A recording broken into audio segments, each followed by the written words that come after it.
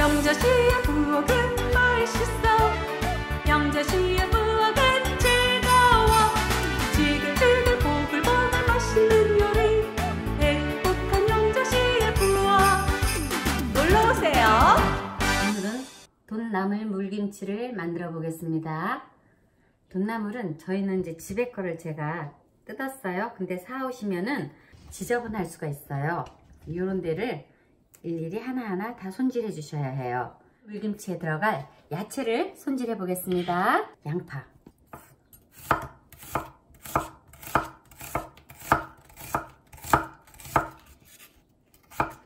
돈나물 김치는요 오래 두고 잡숫기는 조금 안 좋아요 그래서 해서 바로 한 4, 5일 안에 다 잡수셔야지 좋을 것 같아요 익으면 좀 맛이 덜 하더라고요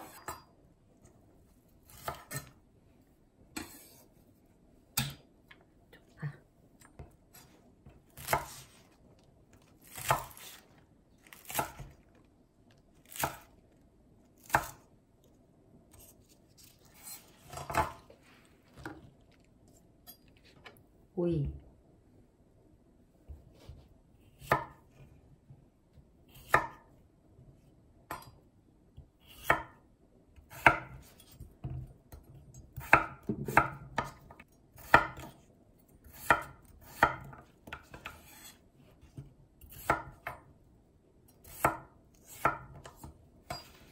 자, 이렇게 야채는 준비해 주시고요.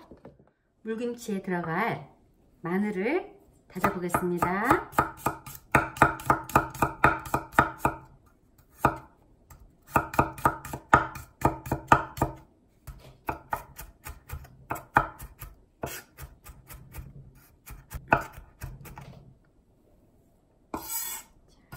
해주세요.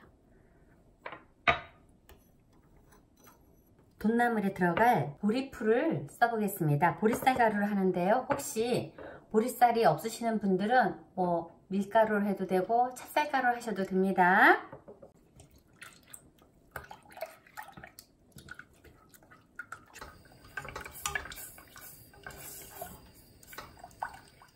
끓고 있어요.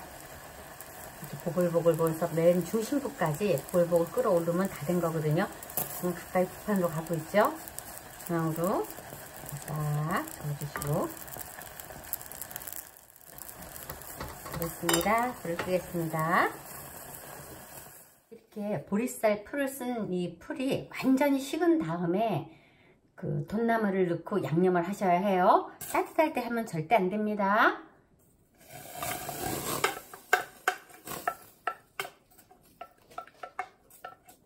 잠시 식혀볼게요.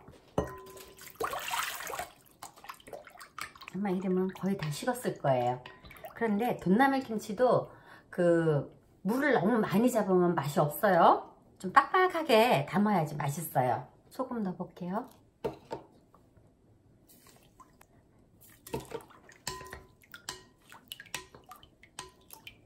생강청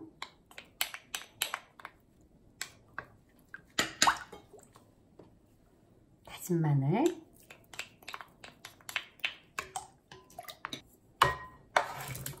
오이 난 다음에 돈나물을 넣으면 돼요.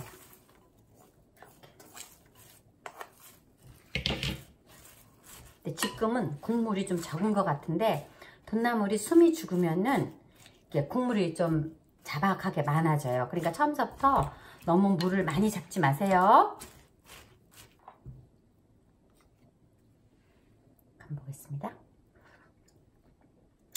됐어요. 딱 좋아요.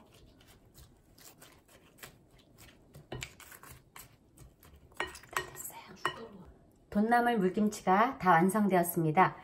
맨 마지막에는 붉은 고추가 있으면 이렇게 빨간 고추 있으면 좀 썰어 넣으세요. 오늘 영상 여기서 마치도록 하겠습니다. 시청해주셔서 감사합니다. 구독, 좋아요 많이 눌러주세요.